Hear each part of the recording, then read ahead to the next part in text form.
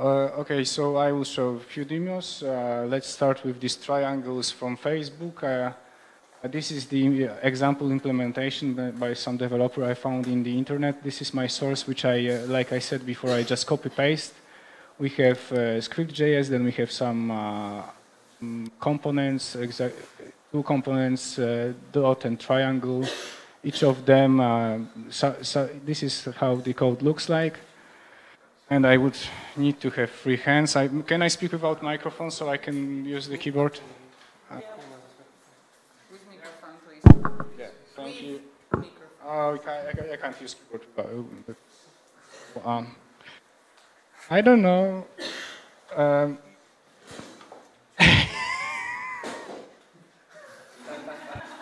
thank you.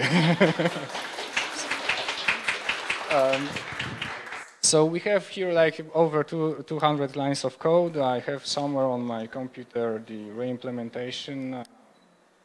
Um, show it here. Okay. So uh,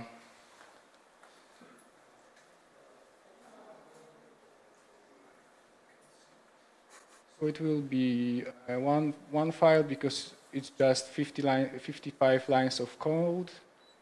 Um, the application um, initialization and uh, start uh, ticking each uh, interval, render thing. This is all copy and paste and just uh, reduced. Uh, this is, this is IMBA syntax. So we have the tag, we define triangle, so it will be our triangle component. We have some props, we know props from React.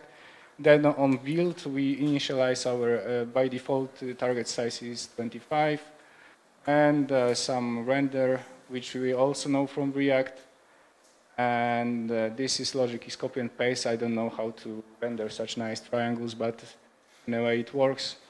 And this is the dot, uh, some more props which we get from the uh, triangle component, and we render it with some style, and then this is the 53 lines of code. So now I need to serve it, hopefully work.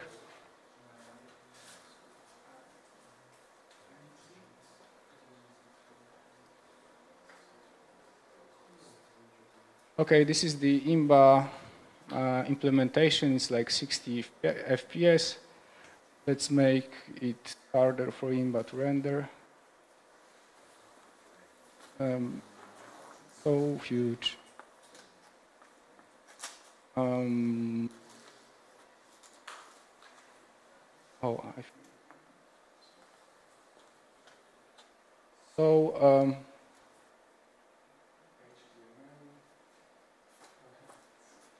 Fuck.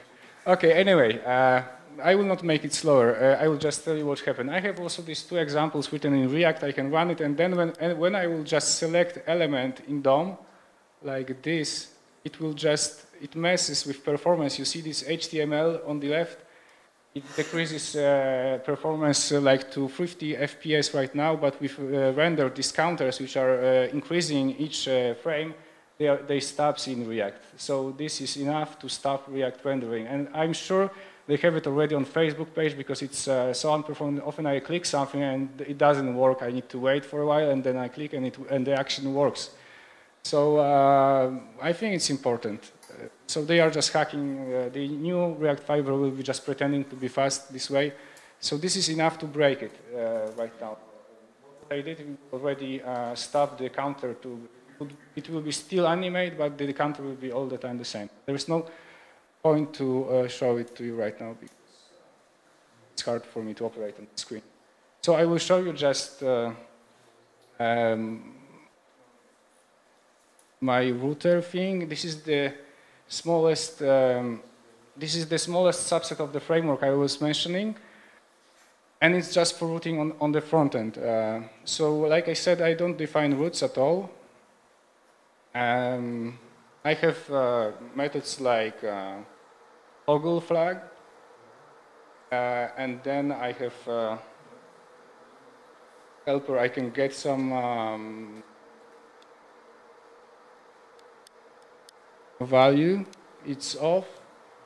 When I click, it's the it's one, and uh, if we go farther, I just, um, so everything is stored in URL. So we think about uh, URL as a store in, in this moment. So we don't define routes at all. We just serialize and deserialize uh, things to URL and from URL.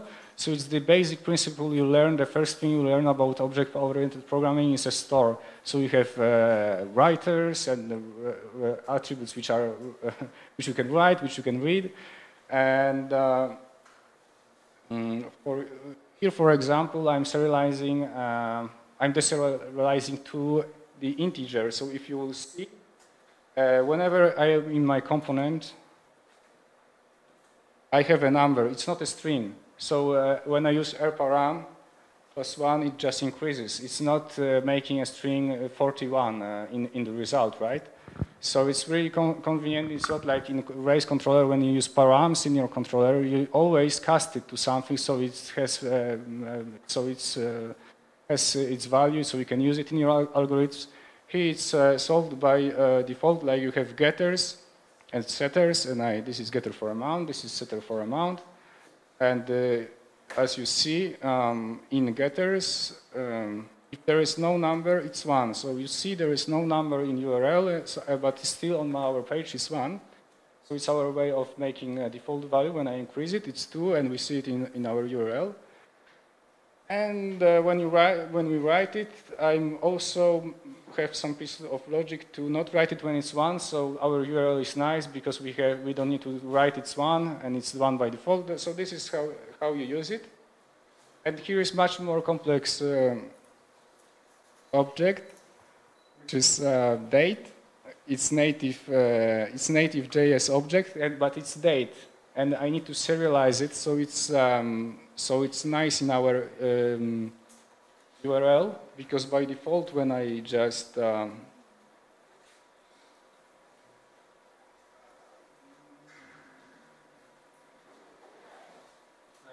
I'm doing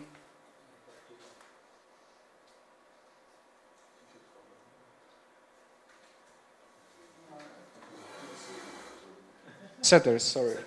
Yeah.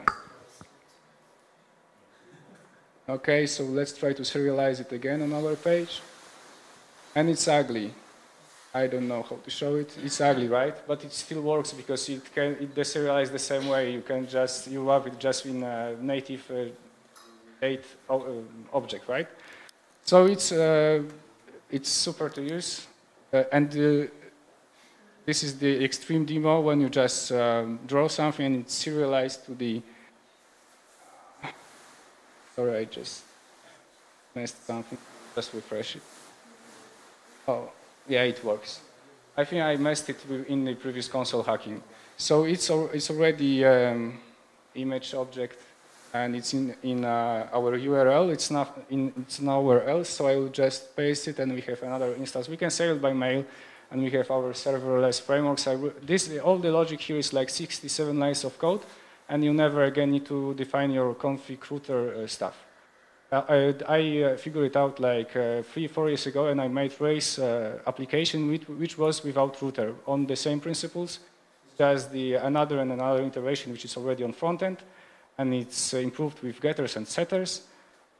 so um, yeah, that's the that's the simplest part of the framework I'd like you to show, but there is no time, and we can talk about it afterwards.